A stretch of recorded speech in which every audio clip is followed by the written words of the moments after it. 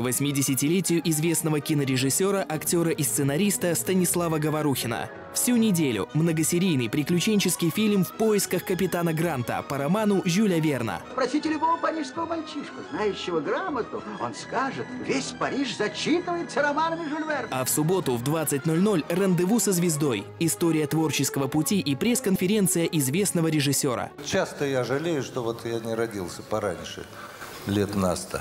Сразу после «Рандеву» самая знаменитая экранизация приключений Тома Сойера и Геккельбери Фина. Рукам. Рукам.